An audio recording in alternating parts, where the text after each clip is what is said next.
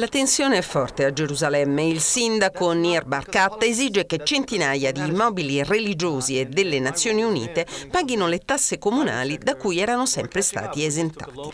Si parla di 650 milioni di shekel, 150 milioni di euro, una grossa somma che preoccupa i capi delle chiese della città santa.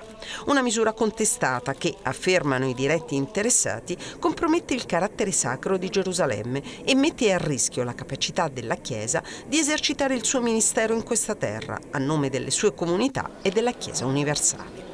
In un documento sottoscritto da una quindicina di religiosi, tra cui l'amministratore apostolico del Patriarcato Latino Pizzaballa, il custode di Terra Santa Patton ed il patriarca greco-ortodosso Teofilo III, si ricorda che le chiese cristiane hanno investito miliardi nella regione per la costruzione di scuole, ospedali, case per anziani e bisognosi, proprio per quelle strutture per cui ora il comune reclama il pagamento delle imposte.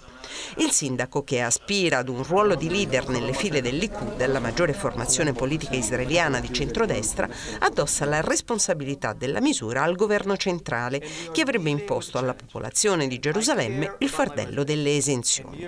La polemica sarebbe tutta interna alle autorità amministrative del paese. Con questa mossa, plateale e a sorpresa, Nir Barkat cercherebbe di forzare la mano al ministro delle finanze Calon ad elargire fondi, finora negati, per la sua città.